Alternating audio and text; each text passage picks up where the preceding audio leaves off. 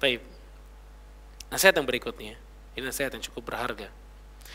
Kehidupan rumah tangga itu berdua, bukan berjamaah. Konsekuensinya apa sih kalau kehidupan rumah tangga itu berdua bukan berjamaah? Konsekuensinya pertama, jangan nyebarin rahasia rumah tangga ke siapa pun. Gak boleh. gitu.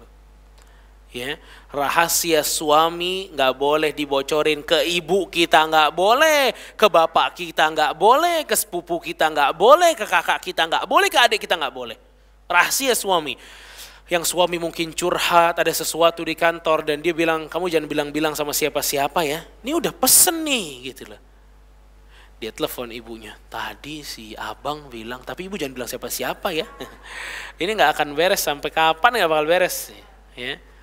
Jadi rahasia itu nggak boleh di, dibeberkan ke orang-orang. Apalagi rahasia masalah ranjang. Itu ada hadis khusus masalah hal ini, Ibu sekalian. Rasulullah SAW mengatakan, Inna min asyarrin nasi indallahi manzilah yawmal qiyamati ar-rajulu yufdi ila imra'atihi wa tufdi ilaihi thumma yanshiru sirraha. Yang paling manusia yang paling buruk di hari kiamat adalah seorang laki-laki yang telah menikah dengan seorang wanita sama-sama membeberkan rahasia ranjang mereka. Ya. Contohnya misalnya si istri ini bilang ke grup di WhatsAppnya yang isinya perempuan-perempuan juga, oh gue sih yang paling cocok sama suami gue pakai gaya ini, pakai gaya itu, ya. Oh ini haram ibu-ibu nggak boleh, nggak boleh, ya. Dan dia mungkin menggambarkan bagaimana suaminya kalau diranjang mau itu pujian ataupun itu hinaan, ini haram semuanya. Apalagi dia taruh di statusnya, ya tentang hal-hal yang sensitif seperti ini nggak boleh. Nggak boleh haram hukumnya. Ini rahasia nggak boleh dibeberin. Ya. Ada sebuah hadis ibu-ibu sekalian yang diriwayatkan oleh Ahmad. Rasulullah SAW mengatakan la'alla rajulan yaqulu ma yaf'alu bi ahlihi wa la'alla imra'atan tukhbiru bima fa'alat kata Rasul mungkin aja ada seorang laki-laki suka cerita apa yang dilakukan kepada istrinya. Ya ini masalah ranjang gue begini, gue begitu, gue begini, gue begitu. Atau seorang istri cerita sama teman-teman perempuan yang lain, oh tadi diranjang begini, diranjang begitu dan seterusnya. Habis Rasulullah SAW mengatakan seperti itu, ya, fa'arammal kaum. Maka orang-orang yang hadir tuh terdiam. Salah seorang dari yang hadir itu mengatakan, "I wallahi ya Rasulullah, innahunna la wa innahum la yaf'alun." Bener Rasul. Banyak tuh yang suka share masalah ranjangnya. Lihat. Itu di zaman Rasul SAW. Jadi perempuan nih kalau ngobrol sama perempuan suka ngomongin ranjangan suaminya. Begitu juga yang laki-laki. Ya, khabith ini. Kata Rasulullah SAW, fala taf'alu Jangan kalian melakukannya. Fa inna dzalika mithlu syaitan laqiya syaitanatan fi tariqin faghashiyaha wan nasu yanzurun.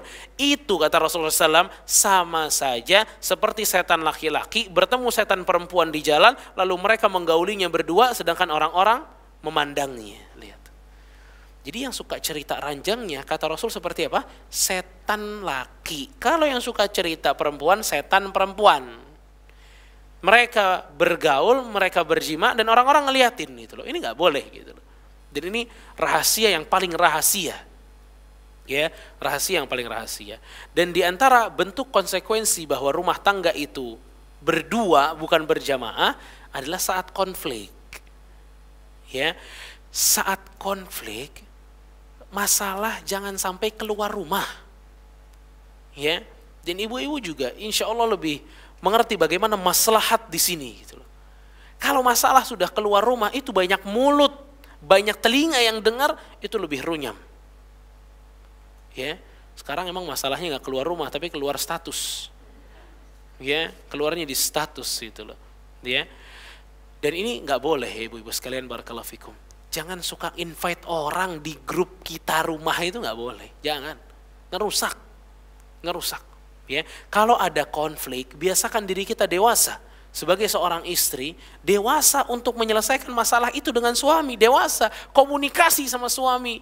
Saya nggak suka kamu begini, saya nggak suka sama kamu begitu. Komunikasi, jangan keluar. Belum lagi kalau cerita mau ke ibunya, mau ke bapaknya, mau ke kakaknya, adiknya, sahabatnya, ceritanya selalu jadi korban. Paham? Selalu jadi korban. Ini kalau ada ribut, dia terus yang jadi korban. Dia nggak mau jadi pelaku. Dia nggak mau jadi orang yang salah. Itu suami gue tuh begini, begini, begini. Dia selalu jadi korban, lihat. Ini kalau kita dengar cerita orang dia jadi korban, pasti solusi kita ngebela dan memang ini bukan ingin perdamaian, ingin pembelaan. Kalau ingin pembelaan tidak akan selesai masalahnya. Ibu sekalian barakallahu fikum. Bukan berarti masalah ini nggak boleh diikut sertakan orang lain di situ. Bukan. Karena firman Allah dalam surat An-Nisa ayat 35 itu memerintahkan kita untuk mengadakan mediasi dengan orang lain, dengan pihak luar. Tapi kalau masalahnya udah besar, hampir-hampir menyentuh perceraian, tapi kalau masalah-masalah kecil telan aja udah gitu loh. Jangan keluar, ditelan aja. Dan sebagai apa namanya mertua atau orang tua dari sang anak ya, juga jangan ikut campur masalah ini. Ya, kalau ada masalah jangan ikut campur. Ngasih saran kalau nggak diminta nggak usah. Ya, nggak usah kasih saran. Kalau kita tahu dia punya problem, jangan kasih saran kecuali diminta. Ya, nanti suaminya bisa tersinggung dan lain sebagainya, bahaya. Ya, belum lama ya kami mendapatkan satu kasus perceraian antara suami dan istri ini ternyata begitu diurutkan gitu ya masalahnya masalahnya bapak perempuan ikut di situ dan ini nggak sedikit ibu-ibu bapak perempuan ikut ikut dalam sisi harta ikut dalam sisi saran itu berbahaya ya jadi si bapak nih jor-joran buat anaknya gitu loh kamu mau apa mau apa mau mobil ya beliin mobil suami ini nggak enak digituin gitu loh Loh ini kan hak saya nih sekarang. Tanggung jawab terbesar si perempuan ini saya gitu loh. Dan perempuannya juga nggak cerdas memanagenya gitu loh. Dia nggak bisa nolak ayahnya, dia nggak bisa ngomong kepada ayahnya. Ini salah, runyam. Akhirnya naudzubillah perceraian ya Bapak sekalian. Ya, Allah mengatakan dalam surat An-Nisa ayat 35, "Wa in khiftum shiqaqa bainihima fab'athu hakaman min ahlihi wa hakaman min ahliha." Kalau kalian lagi ribut kata Allah. Ya, maka silahkan mediasi dengan pihak luar. Caranya gimana? Dari pihak istri panggil satu orang yang amanah, dari pihak suami panggil satu orang yang amanah. Mereka berdua yang mediasi. Dari pihak istri ini kita mau begini, kita mau begitu. Dari pihak suami kita mau begini, kita mau begitu. Tapi kata Allah, in yurida islaha. Kalau berdua suami dan istri menginginkan perdamaian bukan pembelaan. Jadi cara ini akan manjur ya ada mediasi dari dua pihak ini akan manjur kalau suami dan istri mau damai. Tapi kalau cuma pengen, enggak, gue pengen lihat aja suami gue salah gitu. Ini nggak bakal selesai masalahnya. Ini berarti nggak mau damai dia, bukan ini solusinya. Ini yang mau damai aja gitu loh kata Allah. Kalau mau damai, yuwafiqillahu bainahuma. Allah gabungkan lagi mereka berdua. Ya. Makanya ibu-ibu sekalian barakallahu fikum, kita invite orang luar itu kalau butuh masalahnya besar dan invite-nya bukan untuk pembelaan tapi untuk perdamaian bukan pembelaan bukan nyalahin si fulan nyalahin si A kalau diputuskan yang salah suami bahagia hatinya gitu jangan mesti perdamaian yang dikejar gitu loh bukan pembelaan ya dan di antara konsekuensi rumah tangga itu berdua bukan berjamaah itu adalah dalam mengatur anak dalam mendidik anak-anak. Jangan banyak tangan dalam mendidik anak. Kadang suami istri udah punya sepakat, kita pengen anak kita didik begini ya. Dia bakal masuk sekolah tahfidz ya. Eh mertuanya ujuk-ujuk datang. Jangan-jangan masukin situ sini aja, mama yang bayarin. Ah, ini kacau. Kacau ibu-ibu. Ini ngerusak. Gak bisa.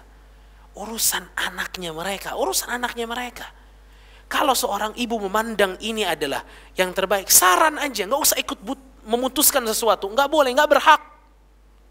Jangan ngerusak rumah tangga anak-anak. Kita juga nggak mau rumah tangga kita dirusak. Jangan merusak rumah tangga orang gitu loh. Walaupun niat si mertua ini pasti baik, namanya nenek kepada cucu kok, pasti baik. Tapi kadang kebaikannya ini hanya di mata si nenek. Bukan secara maslahat, secara umum yang dilihat oleh orang tuanya. Ingat itu anaknya yang bakal ditanya sama Allah orang tuanya bukan nenek kakeknya. Orang tuanya yang bakal ditanya sama Allah. Ya. Jadi pada saat si orang tua ini memutuskan oh enggak anak saya di ini aja. Di sekolah tahfidz aja. Oh neneknya jangan. Biar saya yang bayar. Oh enggak baik ini. Ini nggak sehat hubungan seperti ini. Ya, ini harus dikatakan dan harus ditegaskan.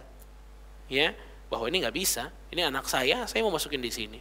Ya, dan cari kalimat-kalimat yang kiranya juga menenangkan hati sang sang nenek ini gitu loh. Ya, atau sang kakeknya. Dan yang keempat yang terakhir dalam dalam konsekuensi ini adalah dalam mengatur rumah. Dalam mengatur rumah itu jadikan rumah itu rumah berdua, bukan rumah yang banyak tangan yang ngatur gitu loh. Apa mertuanya datang gitu loh. Ini bagusnya di sini nih ya, ini ada gucinya nih. Nanti saya beliin deh gucinya. Ini suami istri diam aja. Dia nggak setuju ada guci di situ gitu loh. Nenek kakek jangan ikut campur. Saran boleh, keputusan jangan. Jangan merasa memiliki anak-anak seperti 100% kayak sebelum dia mereka nikah gitu loh. Jangan. Ini membodohi anak namanya. Dia nggak bakal dewasa kalau dijejelin terus. Biarin berkembang gitu loh. Kita juga dulu kan begitu gitu. Berkembang dengan sendirinya. Jadi mengatur rumah ya itu juga rumah tangga berdua bukan berjamaah. Ya, rumah tangga berdua bukan bukan berjamaah.